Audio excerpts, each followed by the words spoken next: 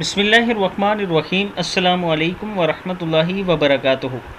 आबिद राजा channel की तरफ़ से आज मैं अपने दोस्तों को बताऊँगा कि तकबीरात जो हैं, ये कौन सी तारीख से शुरू करते हैं और ईद के कितने दिनों के बाद तक पढ़ी जाती हैं।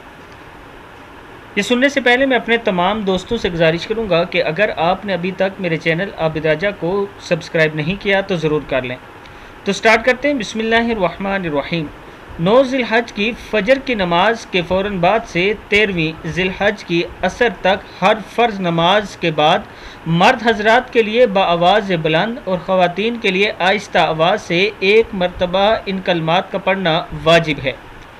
कलमात क्या हैं? अल्लाह अकबर अल्लाह अकबर, ला इलाहा वल्लाहु अकबर, अल्लाह अकबर, वलिल्लाहिल हम्द।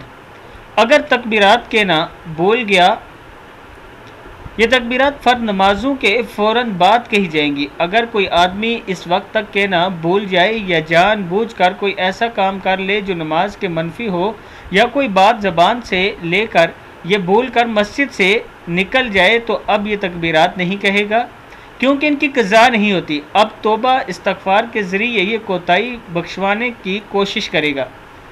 मसला, अगर किसी नमाज़ के बाद इमाम साहब तकबीरात कहना भूल गए तो इनका इंतज़ार नहीं करना चाहिए, बल्कि मुक्तदी खुद ही ये तकबीरात कहना शुरू कर दे। इमाम के सलाम के फेरने के बाद जिन मुक्तदियों की रखतें बाकी रह गई हों, वो इनके अदायगी के बाद बावाज़ बुलंद ये तकबीरात पढ़ेंगे।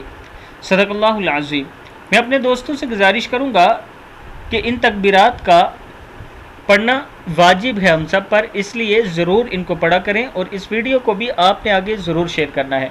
असलकम वरहमल वर्का